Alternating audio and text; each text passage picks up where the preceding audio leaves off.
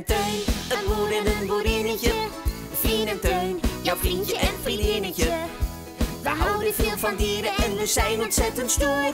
Vien een lief boerinnetje. En Teun een echte boer. Vien en Teun, een boer en een boerinnetje. Vien en Teun, jouw vriendje en vriendinnetje. We klimmen in de bomen en we rennen in de wei. Kom je bij ons spelen op de boerderij. Chocoladekoeien. Het is weer een mooie dag op de boerderij. Fien en Teun mogen vandaag Rosa de koe melken. Teun heeft een grote emmer gehaald om de melk in te doen. Zo. Ik mag melken. Waarom?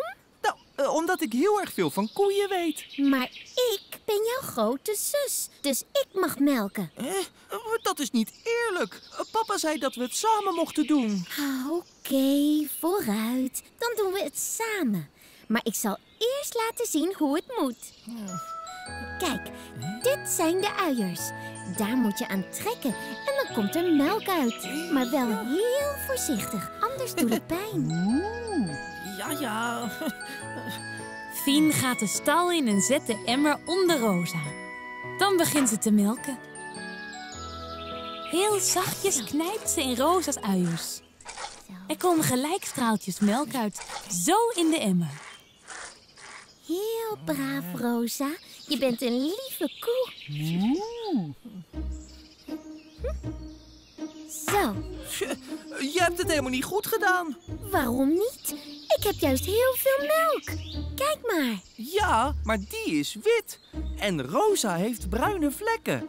Koeien met bruine vlekken geven chocolademelk. Chocolademelk? Ja. Dat kan helemaal niet. Oh, echt wel. Nou, laat maar zien dan. Nu is Teun aan de beurt. Zou het echt waar zijn wat hij zegt? Zo, Rosa. Teun begint te melken. Maar Rosa geeft geen melk. Jij kunt er helemaal niets van. Echt wel? Eh, maar jij hebt alle melk opgemaakt. Dus nu geeft ze ook geen chocolademelk meer. Nou, dan moet je het zelf maar weten. Ik ga de kippen voeren. Die gekke Teun.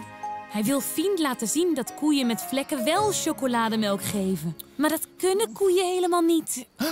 Plotseling krijgt Teun een idee.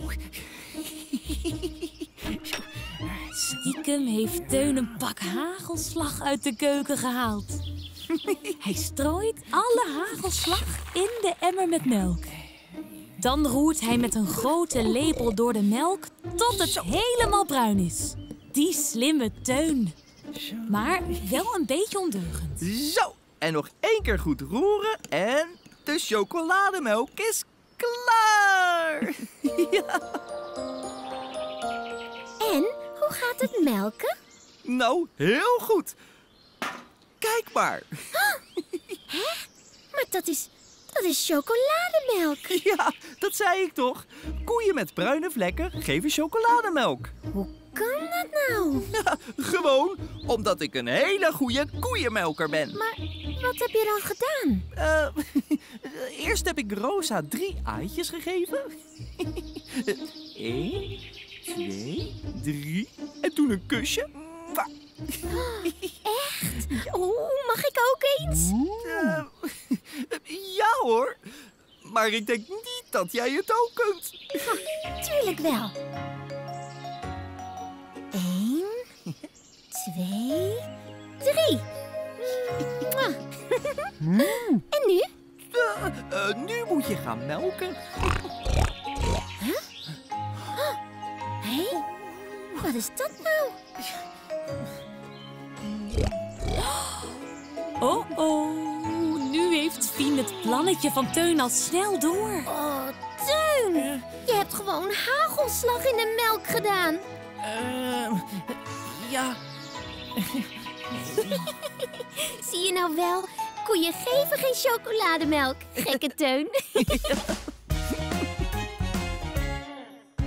De koe in de stal staat rustig te grazen. Maar diep in haar buik is ze druk aan de slag. Zij de melk, ja het zal je verbazen. Die koe heeft het echt reuze druk heel de dag.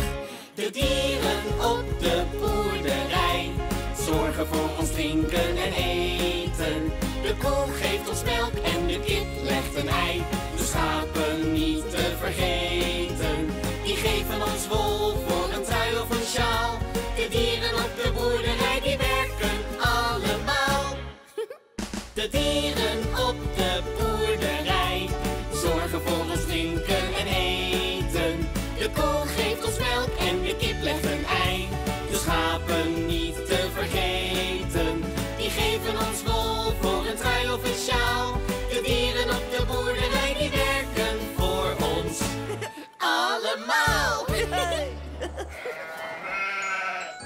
Teun zijn plannetje was mislukt, maar de chocolademelk was wel heel lekker. Dankzij Rosa. Komen jullie snel weer spelen?